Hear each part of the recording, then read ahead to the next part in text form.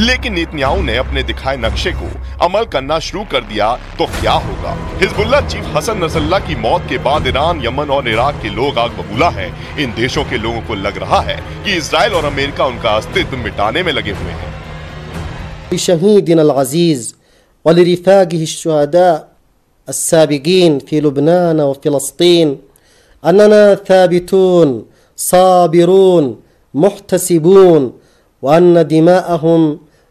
लन उधर ईरान का लेबनान हिजबुल्ला से गहरा रिश्ता रहा है। ईरान अभी सीधे युद्ध में नहीं उतरा है, लेकिन अपनी नाराज़गी ज़ाहिर कर चुका है। ईरान के सुप्रीम लीडर नसल्ला की मौत की कीमत इसराइल को भुगतने की चेतावनी दे रहे हैं।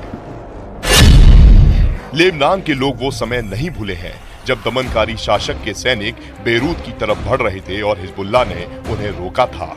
इस बार भी हड़पने वाले और दमनकारी दुश्मन को पछतावा होगा।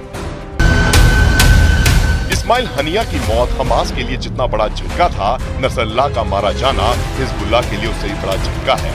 हनिया तब मारा गया जब वो गाजा में नहीं था, जबकि नसल्ला लिबनान में ही था।